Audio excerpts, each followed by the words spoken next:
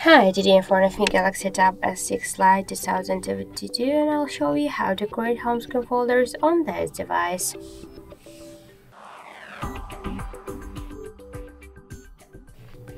So just to do that, we should hold for a while the application and drag this up to another one.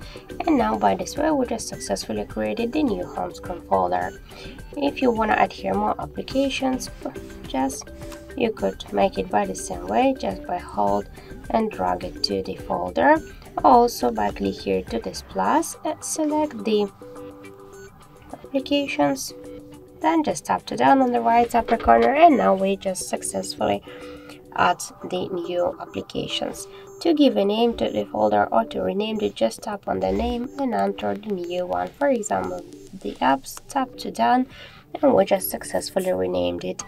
To move here this folder on the screen or between the screens, you should just hold it and drag it.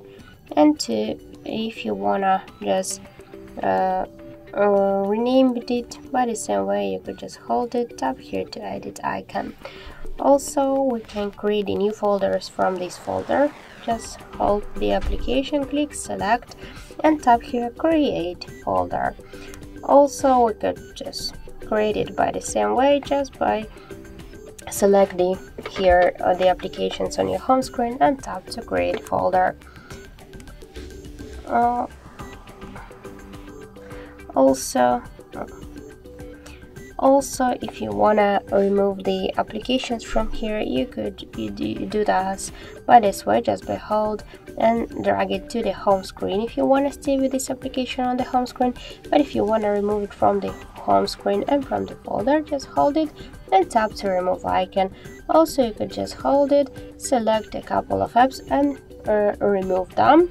Or just if you want you can also select this uh, uh, folder tap to remove or just by hold and tap to remove icon.